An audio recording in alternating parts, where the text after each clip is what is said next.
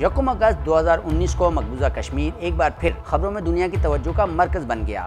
کیونکہ مقبوضہ کشمیر پر قابض، بھارت نے کشمیری رہنماؤں کی گرفتاری کے ساتھ ساتھ مقبوضہ کشمیر میں موجود سیاحوں اور ہندو برادری کا انخلا شروع کر دیا تھا۔ دنیا نے بھارت کے اس عمل کو حیرت کی نگاہ سے دیکھا۔ اس کے پیچھے چھپے انڈیا کے اصل عزائم دنیا کے سامنے، اس وقت کھل کر سامنے آئے جب بھارتی پارلیمنٹ میں پانچ اگست دو ہزار انیس کو بھارتی وزیر داخلہ امیت شاہ نے مقبوضہ کشمیر کے لیے آئین میں موجود آرٹیکل تین سو ستر ختم کرنے کا بل منظور کروایا۔ ان اقدام کو بھارتی اپوزیشن جماعتوں اور بین الاقوامی برادری کی جانب سے کڑی تنقید کا نشانہ بنایا گیا۔ ناظرین آئیں، ہم آپ کو بتاتے ہیں کہ بھارتی آئین کا آرٹیکل تین سو ستر ہے کیا؟ اور اس کے خاتمے سے مقبوضہ کشمیر کے شہریوں کو بھارت سے کیا تحفظات حاصل ہیں؟ سن انیس سو پچاس میں جب بھارت نے جمہوریہ کی شکل اختیار کی، تو انڈین آئین کے آرٹیکل تین سو ستر اور ذیلی شک پینتیس اے کو شامل کیا گیا، جس کے تحت جموں و کشمیر کو ریاست کی حیثیت حاصل ہوئی۔ مگر پانچ اگست دو ہزار انیس کو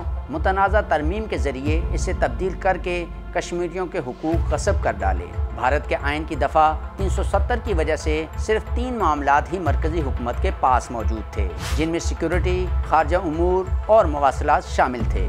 جبکہ ذیلی شک پینتیس اے کے تحت مقبوضہ کشمیر کو ریاست کی خصوصی حیثیت حاصل تھی اور تمام امور کا فیصلہ وہاں کی قانون ساز اسمبلی کیا کرتی تھی۔ پینتیس اے کے تحت ہی ریاست کی قانون ساز اسمبلی کو یہ اختیار بھی حاصل تھا کہ وہ مستقل رہائشیوں کا تعین کر سکے۔ اسی آرٹیکل کی دفعہ پینتیس اے کے تحت کوئی بھی بھارتی شہری مقبوضہ کشمیر کی ریاست میں مستقل شہریت، جائیداد اور نوکری حاصل کرنے کا اہل نہیں تھا۔ مگر پانچ اگست کو بھارت کی جانب سے آرٹیکل تین سو ستر اور اس کی شک پینتیس اے ختم کرنے کے بعد اب کوئی بھی بھارتی شہری مقبوضہ کشمیر میں شہریت، جائیداد اور نوکری حاصل کرنے کا اہل ہو گیا ہے، جبکہ مقبوضہ کشمیر کی خصوصی حیثیت بھی اس آرٹیکل کے خاتمے کے بعد ختم کر دی گئی ہے۔ خارجہ امور کے ماہرین کا خیال ہے کہ آرٹیکل تین سو ستر کے خاتمے کے بعد مقبوضہ کشمیر میں بھی فلسطین جیسی صورتحال پیدا ہو سکتی ہے، جو پاکستان اور بھارت میں کشیدگی بڑھنے کا باعث بن سکتی ہے،